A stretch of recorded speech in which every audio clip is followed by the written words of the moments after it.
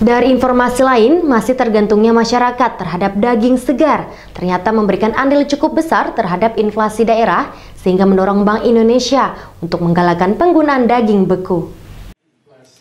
Kantor Perwakilan Bank Indonesia Provinsi Kalimantan Selatan menyosialisasikan penggunaan daging beku saat temu insan pers Banua di Gedung Bank Indonesia Banjarmasin, Jalan Lambung Mangkurat belum lama tadi.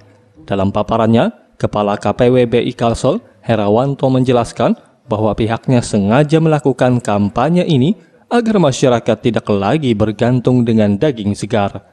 Karena dari data yang dikumpulkan jajarannya, daging segar, baik ayam ras maupun sapi, telah mengundang andil cukup besar terhadap inflasi daerah dan mengganggu kestabilan ekonomi.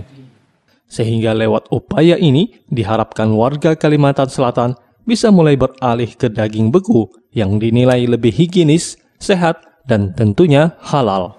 Nah, daging beku ini itu akan sangat bagus bagi pengendalian inflasi karena ketika supply berlimpah dan demandnya uh, kecil atau permintaan kecil, maka supply dari produsen tersebut yang kalau pada saat-saat uh, berlimpah itu cenderung anjlok harganya, itu kemudian bisa disimpan, dibekukan. Stok inilah yang akan dikeluarkan ketika permintaan meningkat dan stok mulai langka, maka ini bisa dikeluarkan sehingga yang terjadi apa yang diharapkan adalah adanya stabilisasi harga yang menguntungkan baik dari sisi produsen maupun konsumen.